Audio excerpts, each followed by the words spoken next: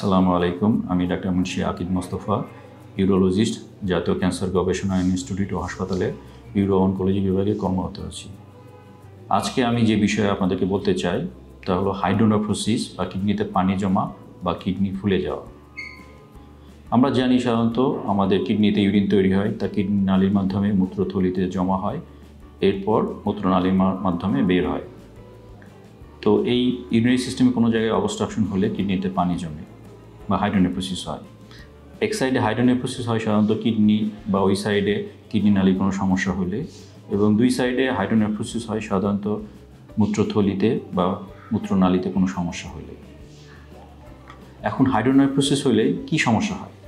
সাধারণত রক্তের সব বজ্র পদার্থ কিডনির সাকনি বা নেফ্রনের মাধ্যমে আমাদের শরীর থেকে বের হয়। সুতরাং যদি হাইড্রোনেফ্রোসিস থাকে, তাহলে দেখা যায় এই নেফ্রনগুলোর উপর ব্যাক প্রেশার ক্রিয়েট হয়। এর ফলে প্রথম দিকে সাধারণত এই নেফ্রনগুলো স্বাভাবিক কাজ করতে পারে না এবং দীর্ঘমেয়াদী সমস্যা থাকলে নেফ্রনগুলো পারমানেন্টলি ড্যামেজ হয়ে যায়। তো এখন বলতে চাই যে, আসলে হাইড্রোনেফ্রোসিস কি আমাদের শরীরের জন্য ডেঞ্জারাস এর অ্যান্সারে বলতে চাই ইয়েস অর নো তো যদি পেশেন্ট আর্লি আমাদের কাছে আসে, তাহলে এর অ্যান্সার হবে নো তার মানে এটা ক্ষতিকর নয়। আর যদি পেশেন্ট দেরি করে ডিলে করে, তাহলে এটা অত্যন্ত ক্ষতিকর আমাদের শরীরের জন্য। কারণ একটা কিডনি কাজ না করলে অপর একটা কিডনি আমাদেরকে শরীরে সাপোর্ট দিয়ে থাকে। এবং অপর একটা কিডনির ফাংশন ফিফটি পার্সেন্টের বেশি ড্যামেজ না হলে আমাদের কাছে সাধারণত ধরা পড়ে না। তাই সুতরাং দীর্ঘমেয়াদী হাইড্রোনেফ্রোসিস আমাদের শরীরের জন্য অত্যন্ত ক্ষতিকর। এখন অনেকে জানতে চেয়েছেন হাইড্রোনেফ্রোসিসের কারণ কী। সাধারণত অনেকের একবার হাইড্রোনেফ্রোসিস হলে দীর্ঘদিন এই হাইড্রোনেফ্রোসিস থাকতে পারে। এছাড়া ফিজিওলজিক্যালভাবে মহিলাদের প্রেগনেন্সির সময় হাইড্রোনেফ্রোসিস হয়ে থাকে। এক্ষেত্রে, উভয় ক্ষেত্রে আমাদের কোনো ওইরকম চিকিৎসার প্রয়োজন হয় না, শুধুমাত্র ফলাপে থাকতে হয়। এছাড়া বিভিন্ন কারণ আছে ইউনারি সিস্টেমে কোনো ইনফেকশন হইলে বা ইউনারি সিস্টেমে কোনো পাথর থাকলে, যেমন কিডনিতে বা কিডনি নালিতে বা মূত্রথলিতে বা মূত্রনালীতে পাথর আটকাইলে হাইড্রোনেফ্রোসিস হইতে পারে। এছাড়া কিডনি ইউনারি সিস্টেমে কোনো ক্যান্সার থাকলে হাইড্রোনেফ্রোসিস হতে পারে। এছাড়া পোস্টের গ্লান বৃদ্ধি অথবা পোস্টের ক্যান্সার হলে হাইড্রোনেফ্রোসিস হতে পারে। এবং আমাদের অনেক সময় দেখা যায় বাচ্চাদের ক্ষেত্রে মহিলারা যখন প্রেগনেন্ট থাকে, তার তখন যখন আলট্রাসোনোগ্রাম করে, তখন দেখা যায় বাচ্চাদের, তার পেটের বাচ্চা হাইড্রোনেফ্রোসিস আসে। এক্ষেত্রে আমি বলতে চাই যে, সাধারণত হাইড্রোনেফ্রোসিস হয় বাচ্চাদের কয়েকটা কারণে।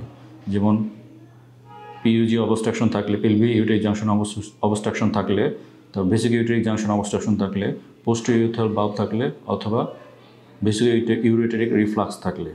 এক্ষেত্রে আমরা যখন ফার্স্ট আল্ট্রাসাউন্ড করি, যদি পনেরো থেকে ষোলো সপ্তাহে, তখন যদি কিডনির diameter more than four centimetre থাকে, সেক্ষেত্রে আপনার আঠাশ সপ্তাহে আর একটা আল্ট্রাসাউন্ড করতে হয়।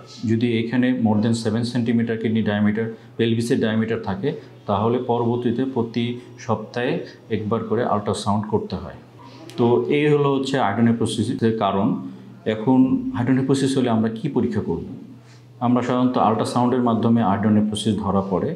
আমরা এরপরে ইন্টারভেনাস ইউরোগ্রাফি বা সিটি ইউরোগ্রাম করতে পারি, অথবা কিডনি ফাংশন দেখার জন্য আমরা অনেক সময় ডিটিপি রেনোগ্রাম করে থাকি যে কোন কিডনি ফাংশন কত দেখার জন্য, বিশেষ করে বাচ্চাদের ক্ষেত্রে। এখন আমি বলতে চাই যে হাইড্রোনেফ্রোসিস চিকিৎসা কী? আমি আগেই বলেছি যে যেগুলো ফিজি ফিজিওলজিক্যাল হাইড্রোনেফ্রোসিস যেমন মহিলাদের ক্ষেত্রে হয়ে থাকে বা অনেক সময় কোনো কারণে আগে হাইড্রোনেফ্রোসিস হয়েছে, সেই ক্ষেত্রে চিকিৎসা হচ্ছে ফলোআপে থাকা। কিন্তু অন্যান্য হাইড্রোনেফ্রোসিসের ক্ষেত্রে হয় কি কিডনির মধ্যে অনেক প্রেশার থাকে বা নেফ্রনের উপর অনেক প্রেশার থাকে। এক্ষেত্রে প্রথম কাজ হলো আমাদেরকে প্রেশার রিলিভ করা। এই প্রেশার রিলিভ করতে পারি আমরা আমাদের পেশাবের রাস্তা দিয়ে ক্যাথেটার ক্যাথেটার দিয়ে অথবা কিডনিতে নল ঢুকিয়ে যেমন ডিজে স্ট্যান্ডের মাধ্যমে অথবা বাইর থেকে কিডনিতে নল দিয়ে পার্কিউটিনাস নেফ্রোস্ট্রমের মাধ্যমে। এর মাধ্যমে আমরা কিডনি প্রেশার কমাইতে পারি। এরপর আমরা এর অরিজিনাল কারণ কারণ কি? এটা কারণ খুঁজে বের করে ওই কারণে চিকিৎসা করতে হবে। তো সুতরাং অবশেষে বলতে চাই যে হাইড্রোনেফ্রোসিস হলে ভীত হওয়ার কোনো কারণ নেই। কারণ আমরা অনেক সময় বাচ্চাদের যখন প্রেগনেন্সি অবস্থায় মহিলাদের যখন হাইড্রোনেফ্রোসিস আসে, তখন পিতামাতা বা আত্মীয় স্বজন অনেক ভয় পায়। তারা চিন্তা করে তার বাচ্চা কি সার্জারি করতে হবে কি না তারপরে তার বাচ্চা ডায়ালিসিস লাগবে কি না তার বাচ্চা কি স্বাভাবিক জীবনযাপন করতে পারবে কিনা এরকম ভয় পায়। সুতরাং আমি বলব যে ভয় না পেয়ে আপনারা ইউরোলজিস্টের পরামর্শ গ্রহণ করবেন এবং আপনারা সঠিক সময় ট্রিটমেন্টের মাধ্যমে আপনাদের কিডনিকে সুরক্ষা রাখবেন। তো আজকে এই পর্যন্তই। আপনারা যে কোনো বিষয়ে আমার কাছে জানতে চাইলে আমাকে এস এম এসের মাধ্যমে জানাবেন। আমি চেষ্টা করব এই বিষয়ে আপনাদের সামনে তুলে ধরতে। ধন্যবাদ। আসসালামু আলাইকুম।